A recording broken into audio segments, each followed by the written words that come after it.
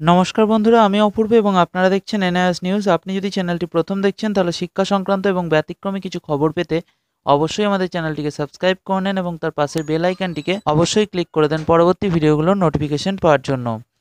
আবারও কপাল খুলতে চলেছে দু হাজার চাকরি প্রার্থীর।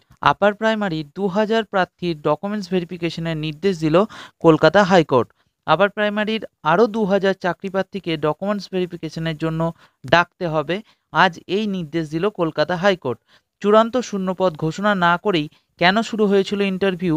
এছাড়াও, এসএসসির কাছে উনিশ জুলাইয়ের একাধিক বিষয়ের ব্যাখ্যা চেয়েছিল হাইকোর্ট। উনত্রিশ জুলাইয়ে এসএসসিকে এ বিষয়ে হলফনামা জমা দেওয়ার নির্দেশ দিয়েছিলেন বিচারপতি মৌসুমী ভট্টাচার্য। তবে নির্দিষ্ট সময়ের মধ্যে হলফনামা জমা দেয়নি এসএসসি। গতকাল বিকেলে জমা দেওয়া হয় হলফনামা। এরপর আজ মামলাটি শুনানি হয়।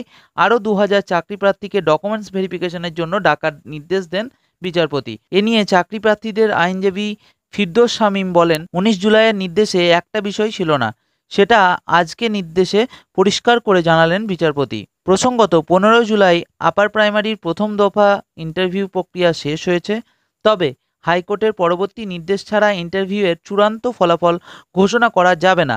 ফলে আপার প্রাইমারির নিয়োগ সংক্রান্ত বিষয়টি এই মামলার উপর নির্ভর করছে।